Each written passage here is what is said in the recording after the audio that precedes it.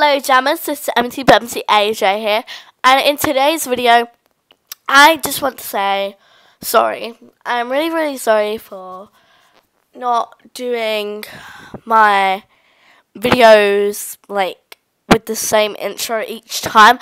I've been struggling to find an intro which would be suitable for me because I use this editing program called Final Cut Pro, and um, it not hard, but I keep on wanting to change what animal I am because last time I was a fox. But I am going to stick an Arctic wolf because they are so cute. And yeah, so yeah.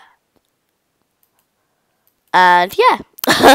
so in this video, I'm gonna. Oops. Whoa! There's a whole lot of people in here. Um, so in this video, I'm going to be showing you different ways of decorating your den. So I'm going to show you um, the treehouse one. Let's get started.